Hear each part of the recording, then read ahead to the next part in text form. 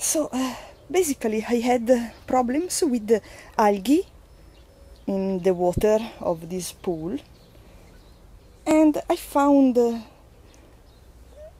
I found a water pool in in a rice field that was full of uh, daphnias, and I thought uh, now I'm gonna take some of these daphnias, and I will uh, put uh, the the daphnias in my pool so they will clean up the water and they did a magnificent job.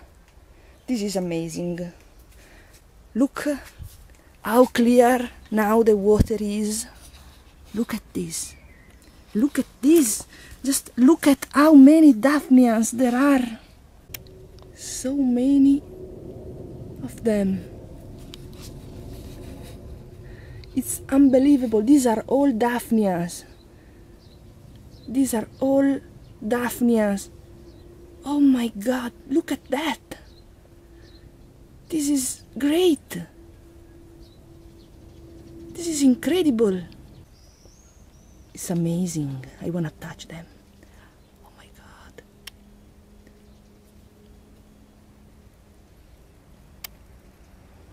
There are so many.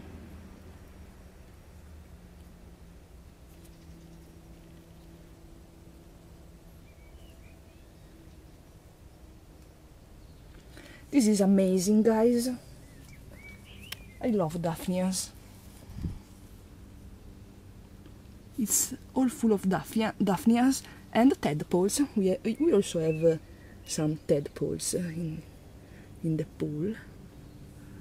You see, the bottom is uh, basically full of uh, tadpole poop. So this is uh, the update on my carnivorous plants uh, pool. Thank you for watching and uh, catch you on my next video.